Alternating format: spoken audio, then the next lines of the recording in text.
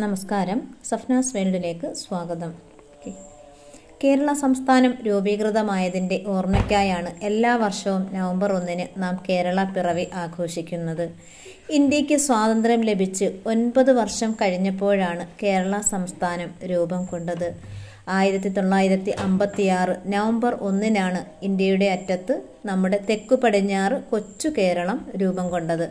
തിരുവനന്തപുരം കൊല്ലം കോട്ടയം തൃശൂർ മലബാർ തുടങ്ങിയ അഞ്ച് ജില്ലകളാണ് ആയിരത്തി തൊള്ളായിരത്തി അമ്പത്തിയാറിൽ കേരളം രൂപീകരിക്കപ്പെട്ടപ്പോൾ ഉണ്ടായിരുന്നത്.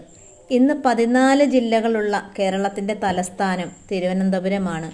കേരളത്തിലെ ഏറ്റവും വലിയ ജില്ല ഇപ്പോൾ ഇടുക്കിയും ഏറ്റവും ചെറുത് ആലപ്പുഴയുമാണ്. ഈ ദിവസം തന്നെയാണ് മലയാള ഭാഷാ ദിനവും ആചരിക്കുന്നത്. ദൈവത്തിന്റെ സ്വന്തം നാട് എന്ന പേരിൽ പ്രശസ്തമായ നാടാണ് കേരളം.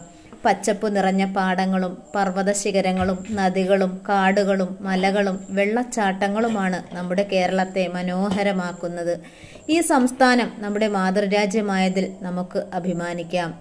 നന്ദി നമസ്കാരം.